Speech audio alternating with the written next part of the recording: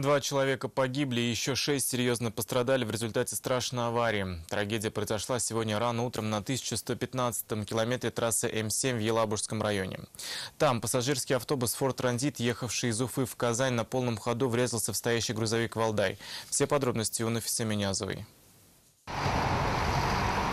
4 часа 44 минуты. Трасса М7 Елабужский район. Автобус с пассажирами влетел в стоящий грузовик на полной скорости. Водитель микроавтобуса погиб на месте. Основная сила удара пришлась именно на его сторону.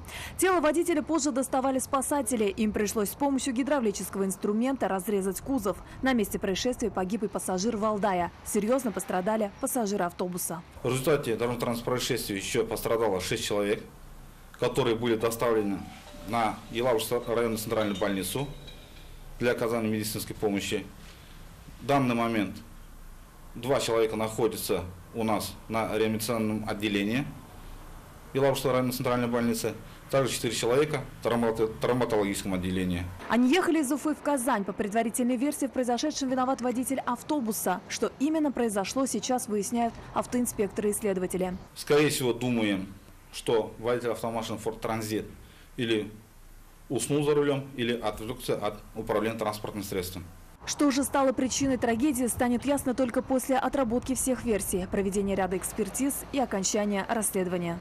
Нафиса Минязова, Ирина Сушилова, Айрат Шигалямов, вызов 112.